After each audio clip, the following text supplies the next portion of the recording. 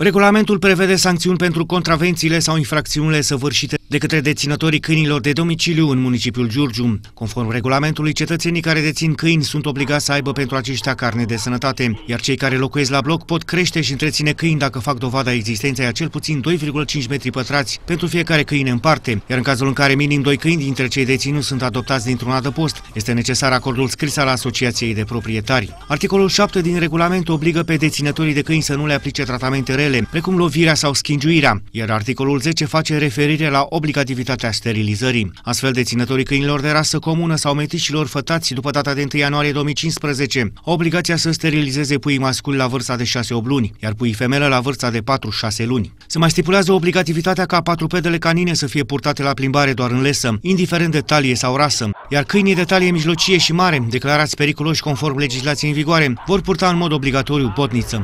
Giurgiuvenii trebuie să mai știe că nu au voie cu câini, indiferent de rasă, în parcurile elevilor și Mihai Viteazu și în toate zonele unde se află parcuri și locuri de joacă pentru copii. Nerespectarea prevederilor articolului 8 din regulament constituie infracțiune și pedepsește răul tratament și cruzimea față de animale. Astfel se pedepsește omorârea animalelor cu intenție, practicarea tirului pe animale domestice sau captive, organizarea de lupte între animale sau cu animale, dar și abandonarea sau alungarea unui animal, a cărei existență ține de îngrijirea omului. Giurgiuvenii trebuie să ia act de aceste reglementări și să le respecte, iar cei care nu le cunosc pot accesa site-ul primăriei.